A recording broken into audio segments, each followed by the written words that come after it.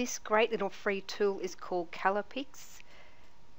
I will put the web address down below the video so you can click on it and access the download. So see this section here, this little download, this tiny download button, this is what you click on to download.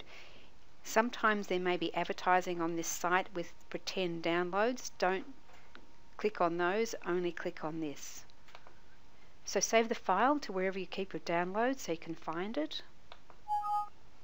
Then simply click on your download, run it, and you've got this little box that's sitting on your site. So we just ran that program and that's the first time. Once you've run it the first time, I'm just going to X that off so it's closed. It sits on the bottom on your bar at the bottom and all you simply do is click on it. It will come up, it will ask you to run it again and it opens again. You can leave it open if you want to but I tend to keep mine closed when I'm not using it. Now what I want to do is show you how to copy colours from anywhere that you see on the web. I've gone to my website so that you've got somewhere different so that you can see that it's uh, working somewhere else besides its own site. To bring it up, even if it's open, just click on it again, it'll bring it onto the page. Now I've decided I want to co copy this little pink colour that I've got in the middle because I want to use that for something. So on the left there you can see when I move my mouse in the first section here it's got pixels so it's telling me the size of that space with the pink on it.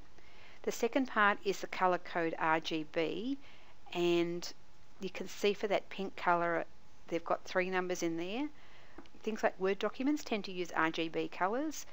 Hex, which is over here, Hex is what I need for you to give me your colors for your website.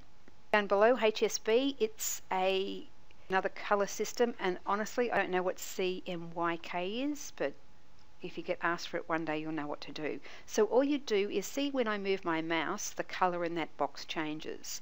So keep moving your mouse until you've got the color that you actually want so as I said, I'm after that pink. And then simply hit the enter key on your keyboard and see how that little lock has come up. So it's locked that color. So now when I move my mouse around, that color stays in the box. And if you actually click your mouse on the hex color, click it, it will copy it and then you can paste that into a document that you send to me or you can send to anyone else. So it's very simple. If you want to use this pink color in a Word document, I'll quickly show you how you can do that. I've created this little box and I want to create, create shading in the back. So if I go into my shading and my colors, so any of the color palettes on Word document work in the same. I click on more colors, click on custom, and you can see how you've got the RGB, red, green, blue, and there's three boxes. So if I simply just go down to my bar at the bottom, click on my color it will come up with me, it will, it will appear so I can see what I need to put in. So I'm just simply going to key those numbers in. If I click on here, they'll go away. So uh, the best bet is just to jot them down and they're in the same order, the R, the G and the B. So this one's 233 for R, 185 for green and 199 for blue.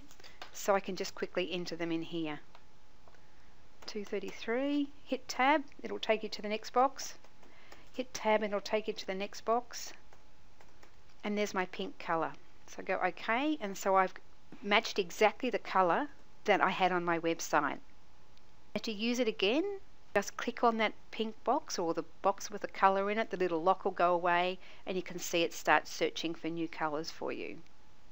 So you can go to any page on the website if you find a colour that you like and you can get the exact colour use on your website, to use on your brochures, to use on your flyers, uh, to give out to your printer.